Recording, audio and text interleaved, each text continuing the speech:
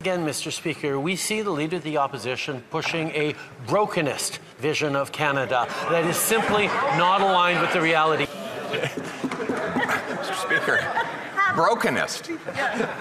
It's not even a word. He- he- He's even breaking the English language.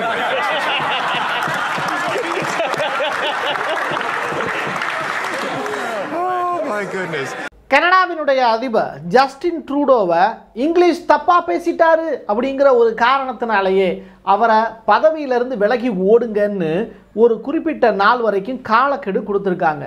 பாவம் Justin Trudeau ரொம்ப பெரிய அளவிலான அவமானத்தில் இன்னைக்கு சிக்கி தவிக்கிறாரு. அது என்ன வீடியோங்கிறத நம்ம பார்க்க போகிறோம் பக்கத்து நாடான பங்களாதேஷில் அதிபர் சொல்லி இருக்கக்கூடிய ஸ்டேட்மெண்ட்டு ரொம்ப ஆச்சரியமாக இருக்குது ஷேக் ஹசீனா பிரதமருடைய ரிசர்னேஷன் லெட்டரை காணா பங்களாதேஷ் முழுவதும் தேடுங்கள் அப்படின்னு ஒரு அறிவிப்பை கொடுத்துருக்காரு.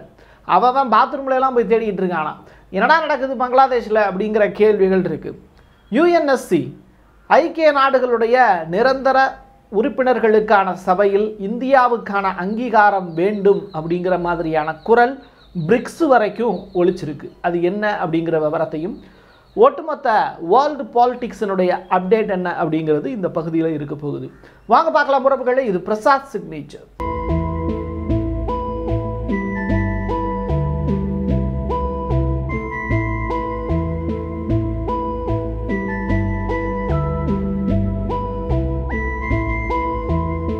கனடாவினுடைய பார்லிமெண்ட் அவை கூட்டம் நடந்துகிட்டு இருக்கு. அப்போ ஜஸ்டின் ட்ரூடோ நாட்டினுடைய வளர்ச்சி எப்படி போயிட்டு இருக்கு தெரியுமா? அப்படின்னு பொங்கி உரை நிகழ்த்திக்கிட்டு இருந்தார். நம்ம ஊரில் பொங்கலோ பொங்கல் அப்படின்னு சொல்கிற மாதிரி. ஏன்னா பொங்கலுக்கும் கனடா அதிபருக்கும் ரொம்ப சம்மந்தம் இருக்குது அது மக்களாகியவங்களுக்கே தெரியும். தமிழ்நாட்டில் பொங்கல் கொண்டாடுறாங்களோ இல்லையோ ஜஸ்டின் ட்ரூடோ கனடாவில் வந்து பொங்கல் கொண்டாடுறத வழக்கமாகவே வச்சுருப்பார். அந்த அளவுக்கு தமிழர்கள் மீது மிகுந்த பாசமுடையவரான்னு கேட்டால் கனடாவில் தமிழர்கள் அதிகமான பேர் இருக்காங்க. அவங்களுடைய வாக்கு வேணும்.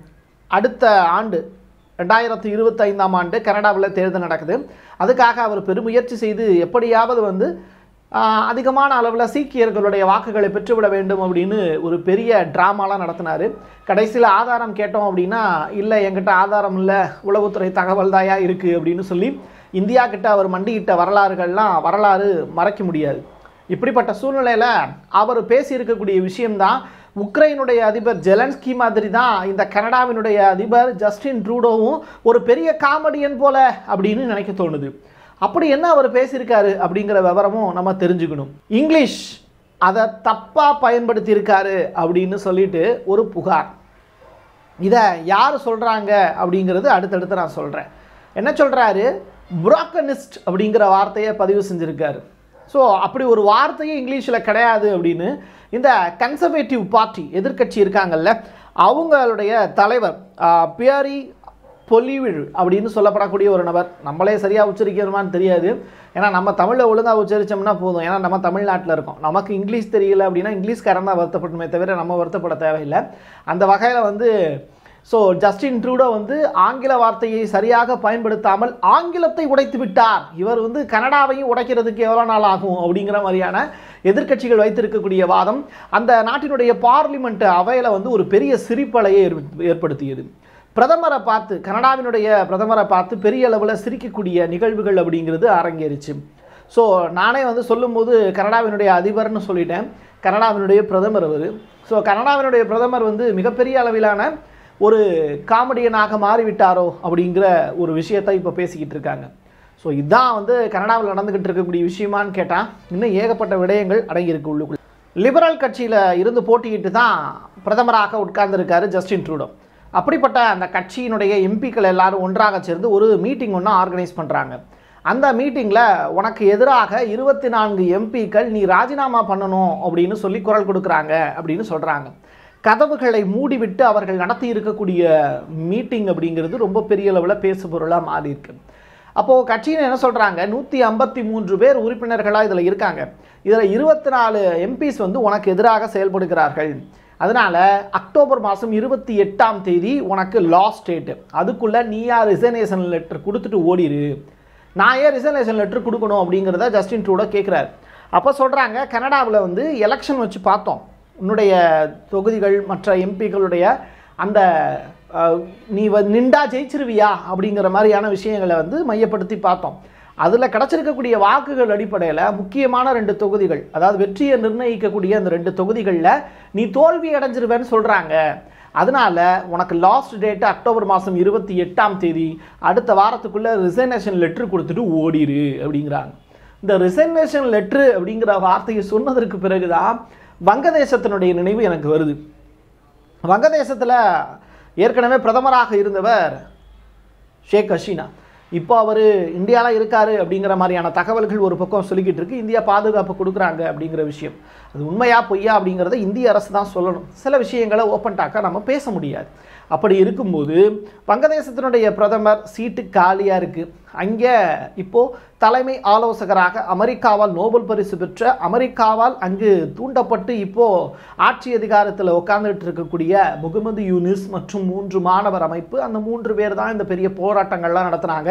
இவங்க எதுக்காக போராட்டம் நடத்துனாங்க அப்படிங்கிற விவரத்தை இப்போது பங்களாதேஷினுடைய அதிபர் போட்டு உண்மையை உடைச்சிருக்காரு. அதுதான் நாடு முழுவதும் மறுபடியும் போராட்டத்தை தூண்டி விட்டுருக்குங்கிறாங்க அப்படி என்ன வங்கதேசத்தில் மறுபடியும் போராட்டம் வெடிக்குது? ஐயோ அப்போ அந்த பிரச்சனை முடியலையா? அப்படின்னு கேட்டால் வங்காளதேசத்தினுடைய அதிபர் ஷகாபுதீன் அப்படிங்கிறவர் இந்த புகாரை எழுப்பியிருக்கார். அது என்ன சொல்கிறாருன்னா ஷேக் ஹசீனா என்னன்கிட்ட ரிசர்வேஷன் லெட்ரு கொடுத்தது வந்து என் கையில் இல்லை அப்படிங்கிற ஸ்டேட்மெண்ட்டை சொல்லியிருக்கார்.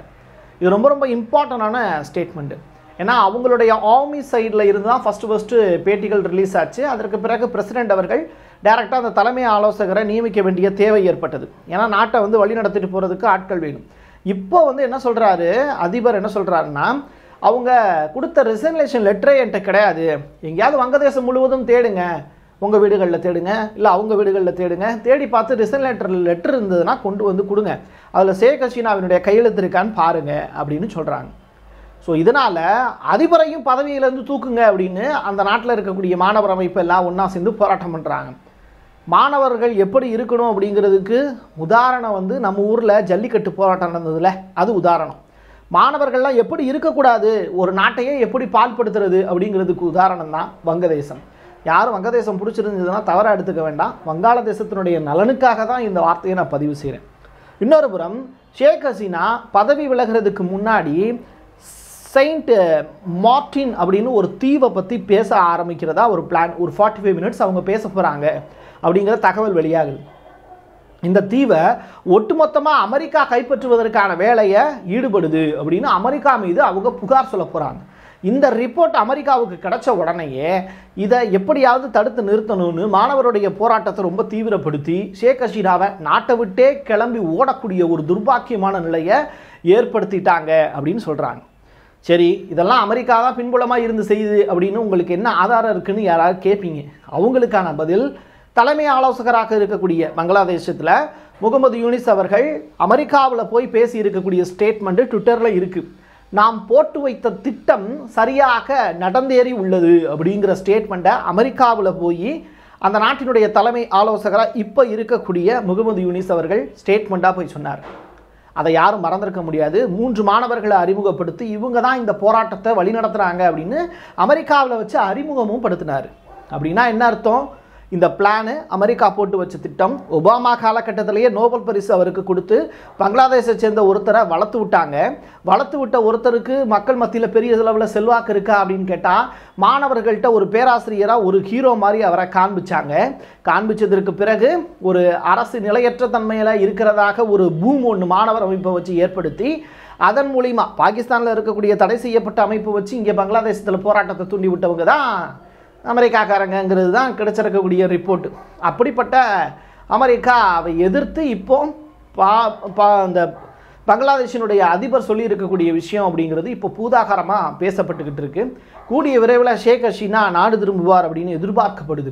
வங்காளதேசத்தில் அமைதியும் ஒரு புது மலர்ச்சியும் ஷேக் ஹசீனாவால் மறுபடியும் ஏற்படுமா அப்படிங்கிற எதிர்பார்ப்பு போராட்ட களத்தில் குதிக்காமல் வீட்டுக்குள்ளேயே உட்காந்து ப்ரே பண்ணுறாங்கல்ல பங்களாதேஷில்.